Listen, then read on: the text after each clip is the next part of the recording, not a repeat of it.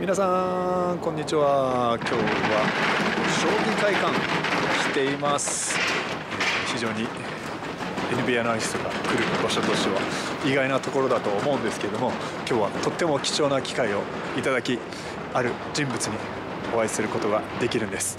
この後は、えー、新聞の対談もさせていただくということで非常にワクワクしております。では行ってきます。ここでつもプロの技師さんたちが将棋を指している。そんな場所になっています。天井にはカメラがついていて勝負を上から、えー、皆さんが楽しめるように盤が映るようになってるんですね。ここでいつもやってるわけなんですよ。何も喋らないの？緊張してきちゃって。また後で喋ります。これ写真じゃなくて動画だよね、はい。はい、今日は非常に貴重な経験をさせてもらってます、えー、豊島竜王の今度就任式に出席させていただくその挨拶、えー、これをですねやらせていただく上で今日はいろいろと対談させていただいてます。今度、えー、読売新聞の方でもこの対談、えー、読むことができるので皆さんチェックしてくださいね豊島竜王好きな選手は？カリーです。ステフィー・カリー昨日キャリアハイ。62点のあの男です。はい。なんかあのゲーム同士でね将棋といろいろバスケ通ずるものもあって。そうですね。共通点がたくさんあって、うんうん、はい、お話ししていてすごく楽しいですし、なんか将棋にもためになりそうな気がしています、うん、はい。すごくワクワクしています。本当に。ありがとうございますこれであの筆試していただいていいですか、はい、先生お上手なんでいつも。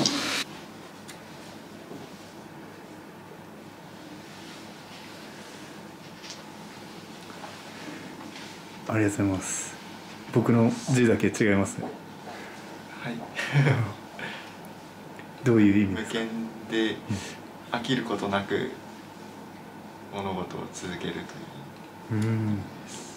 いやお互いこうパッションを持ってこれからも進んでいきましょう、はい、ありがとうございます。ありがとうございます。今回挨拶を僕に指名くださった理由をお聞かせいただけますか？はい。えっと解説を聞いていてまあすごく自分の趣味の一つというか本当に人生を豊かにさせていただいているさせてもらっているなと感じていてで、えっと、竜王戦で担当の記者をされている吉田さんという方もバスケが非常に好きで竜王戦の間もよくバスケの話をしていたのでいいかなと思って、はい、すごい。竜王戦の間にバスケの話してたんですか？竜王戦の間というか、まあ竜王戦のその結構いろんな場所に行って指すので、うん、まあその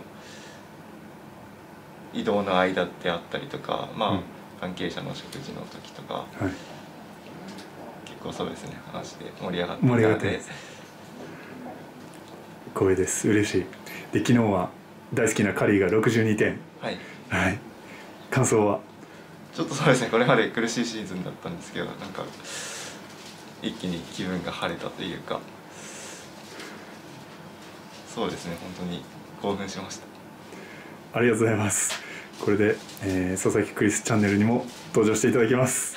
大丈夫ですか？本当に。大丈夫ですかね？はい。一緒にあのね将棋とバスケット盛り上げていきましょう。じゃあはい。というわけで今日は人生初の将棋会館、えー、伺いました。豊島竜王とバスケの話も、えー、カツ丼とカレーライス食べながら楽しくバスケ談義の花が咲きましたね。えっ、ー、と今度1月25日、はい、はい、ご挨拶に伺います。ぜひよろしくお願いします。よろしくお願いします。お時間ありがとうございます。ありがとうございました。Alright, see ya. ありがとうございます。はい皆さんお昼の将棋会館から瞬間移動ではなかった、えー、車移動でこちらのスタジオに来ています今日は、えー、B リーグの応援番組「Be My Hero」シャープ14そして新年一発目に出演させていただきますよ、えー、シーズン前半2020年のシーズン序盤で活躍した佐々木クリスがピックアップする選手そしてシーズンの後半戦、えー、どんな選手の活躍が期待されるのかこちらの番組でたっぷりとご紹介していきます。はい。もしかしたら、えー、皆さんがこの動画を見る頃には、えー、生配信終わってるかもしれませんけどもアーカイブなどもあるのでぜひチェックしてね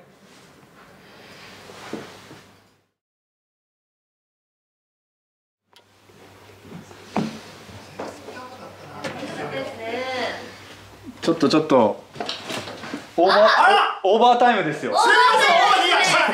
クリスすみません、オーバータイム。オーバー、これ今ね、チームクリスが勝ち、クリス、クリスが勝ちからチームオーバータイム。このままいったら、そうですね。クリスが勝ちになります。ルール違反だもんね、うちらね。いやいや、でもクリスさんめっちゃ楽しかったです。本当にめちゃくちゃ面白かったです。こういうふうなね、やっぱりことをね、もっとしなきゃいけないからね。絶対江口さんとクリスさんのスケジュールはもう今から押さえてください。絶対に押さえてください。バスケットボールキングさん。よろしくお願いします。本当に。勉強になりましたね。いや本当に。はい。ど女性から見てもどうでした？今日のクリスさんの解説っていうのは話すごい分かりやすいですし、うん、あの映像を見ながらこれがこう動いてっていうのをやってくれるのが、きっと初めて B リーグそんなに詳しくない方もいらっしゃったと思うので、うん、すごい本当に分かりやすくそして興味を持てる喋り方をしてくださるんですよ、うん、ななので本当にいろんなチームのいろんな選手にちょっと注目して見ていきたいなと思いました、パスをするときに占い師のこのクリスタルって表現はクリスタルしかできないですよ。そうですよ。佐々木クリスタルですよ今もう完全に。完全にクリスじゃないです。クリスタルです本当に。佐々木クリスタルいただきました。でもどうでしたか今日「Be My Hero」いや僕もめちゃくちゃ楽しかった。よかったやっぱ2人の熱量がすごくやっぱバスケ愛にあふれてて嬉しいですやっぱバスケを好きな方たちとやっぱこういって時間をね一緒に共有できるのって本当ありがたいなと思って。ありがとうございます。ちょっと今度クリスの部屋ってやりたいですよねやりましょうルルって言いながら。私たちが入ってくる もしくは僕らほら逆に別室でクリスさんのその解解説を聞きながら後ろで副音声みたいにいいですね。選手一人が来てくれてルルルルルってね今日今日のクリスクリスの部屋はとかって髪型も考えてきました。飴玉飴玉飴ちゃん出さないといけないから。ちっちゃいバスケットボール出すんですよ。こうやってこうやって。じゃあバスケットボールだったら多分銀紙のチョコです。ああいいですね。いいですね。ね。あすごい面白い。でも本当クリスさん今日来ていただいて本当ありがとうございました。こちらこそありがとうございました。皆さん Be My Hero の、えー、YouTube のリンク概要に貼っておきます。ありがとうございます。ぜひ見てください。コリアさん、関根さん、ありがとうございました。ありがとうございました。Thank you. あありがとうございます。急に対応していやいやありがとうございます。はい。というわけで1月5日は僕佐々木クリスにとってとってもスペシャルでエキサイティングな一日となりました。そうですね。あのもう一つ最後に触れておかなければいけないのは渡辺裕太選手今日出場がありましたね。4分ほど4クォーターに出場しました。でボストンセルティックスに、まあ、大差をつけられて、まあ、主力を下げたトロントラプターズですけれども渡辺裕太選手は入って早々にディフェンスリバウンドをもぎ取りそこからの駆け上がり一切躊躇することなくこの前の出場では外してしまったスリーポイント見事に射抜いて見せましたね。素晴らしいスリーポイントだったと思いますしこのゲーム4分ですけれどもその中で彼がやっていた動きまあ、これまで僕の解説を、聞いてくださっている方だったら必ず分かるはずだと思うんですけども素晴らしい動きをしていました。うん、もう本当に、えー、彼の、えー、こういったゲームを見て一日を締めくくれるというね本当に晴れやかな気持ちで今日はいっぱいです。うん、でちょっとだけねクロージングで振り返っていくと、まあ、今日は本当に刺激的な、えー、こう出会いもいただいて、えー、竜王の、えー、豊島竜王と一緒に対談もさせていただいてるんですけどもその対談の中で例えば将棋でいう言葉の序盤中盤終盤の境目って何なんですかっていう質問もさせてもらったんですね。この序盤とか終盤っていう言葉は僕もゲームの展開によってやはり使う言葉。で将棋の世界のこの言葉をね、やはりバスケットボールでも使っているというところもあってすごく、うんまあ、竜王は序盤をすごく今大切になさって研究されてるっていうことも伺って、うん、なんかこう相通ずるものがあるのかな。でそこでやはりこうすごく感じたのは48分間 NBA なら NBA の逆算。40分なら40分の逆算。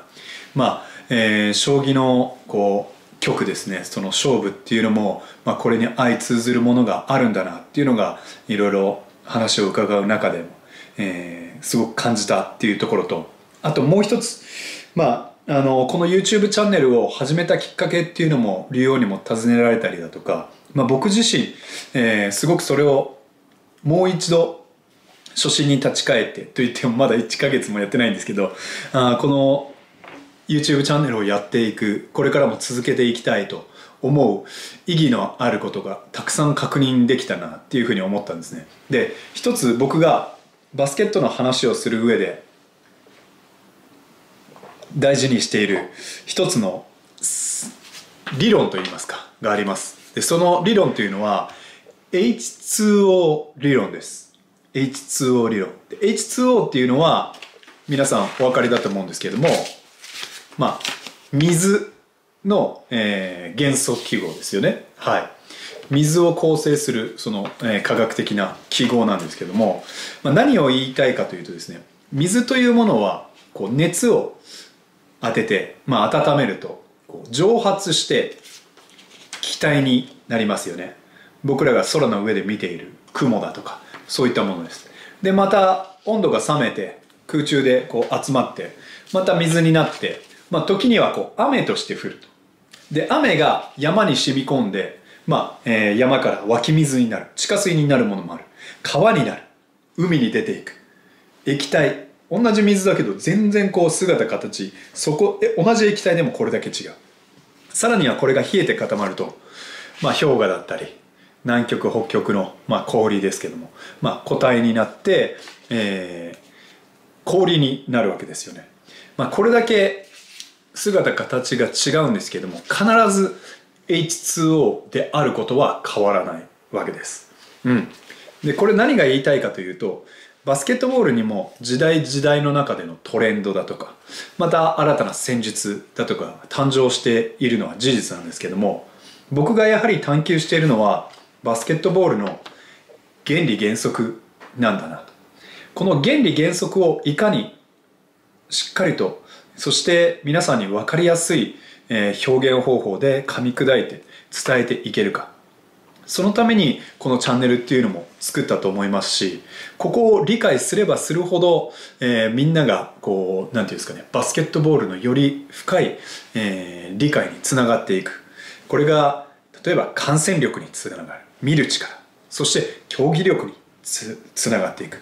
こういったことに必ずつながるんじゃないかなと思ってやはり一年発起して、うん、チャンネルを立ち上げてよかったなっていうふうに今思ってるのとあとは共通言語の確率ですね。共通言語。やはりこう変わらないバスケット、えー、この何て言うんですかね、えー、みんなで、えー、見ているその造形造形っていうのをしっかりと理解するためにはまたあのデータも活用しますし、えー、僕がバスケットボールのコートで赤って言ったらみんなが同じ赤を思い浮かべる、はい、いろんな赤が世界にはあると思うんですけど信号機の赤とか日の丸の赤とか。でも同じ赤を思い浮かべる。こういうこれもまた感染力や競技力の向上のためには絶対欠かせないものだなっていうふうに思っているんですね。はい、で、まあ、こういったところを改めて、うん、すごくうん再確認できた素晴らしい一日だったんですけども実はですね竜王から、うん、素晴らしいあのプレゼントをいただくことができました。それがこちらです。はい。色紙を書いていただいたんですけども僕が震えたのはですねこの言葉を書いてそして説明してくださった「無権」という言葉なんですけどもこの「無権」という言葉は諦めることなくそして開くことなく続けているからこそ、えー、進歩があるという。もう本当にね、あのー、常に常に、えー、向上してで今の地位を築かれている豊島竜王だからこその言葉であるとともにやはり僕もまだこのチャンネルも始まったばかりではあります。で解説者のキャリアも7年ぐらいかな。うん。えー、8シーズン目になるかもしれませんけどもやはりまだまだこの無限に探求が続くというところで原理原則これを、えー、開くことなくやはり熱を与え続けたい。僕がもう一つ大切にしてる言葉があって、えー、熱した湯も3日間熱を与えるのがやめてしまえば元の水に帰るっていうねこれは、まあ、本当に短い間僕空手をやっていた経験があったんですけどその空手の確か大会か方の、まあ、賞でいただいた、まあ、湯飲みに書いてあってちょっとまだ僕誰の言葉かもわからないんですけど、うん、やっぱり絶えず情熱を費やし続けることが NBA 選手も成功につながる。渡辺選手のスリーポイントもそうです。八村選手のオフェンスリバウンドもそうです。そして、えー、竜王が、えー、7曲ものこのシリーズで、戦っていくこともそうです。非常に面白かったですね。NBA ファイナルが7戦シリーズなのと同じように将棋も、えー、7局戦ってこう勝負を決める、うん。まあ、こういったものも含めてですねたくさんお話を伺っています。ぜひねあの紙面の方も楽しみにしてほしいなと思います。で今日はですね、えー、NBA の方は特にえー、皆さんにお話しすることはないんですけどもそしてまあ僕の稚拙な編集ではあったんですけどこれまでのコメントで、まあ、クリスさんの普段の仕事の様子も見たいっていうようなコメントもありましたので、まあ、これからも、えー、こういった試みもちょっとはやってみたいなと思います。というわけでまあその、えー、初めての編集作業そして記念すべき初のこの佐々木クリスチャンネル初のゲストが将棋界最強の、えー、豊島竜王とそして Be My Hero えー、B リーグの番組をねお届けしてくださってる小庭さんそして関根さん登場いただきました。本当にあの豪華な、えー、ゲストをお迎えできて、えー、今日本当に感無量です。というわけで皆さんまた近いうちにというか多分明日。See ya! バイバイ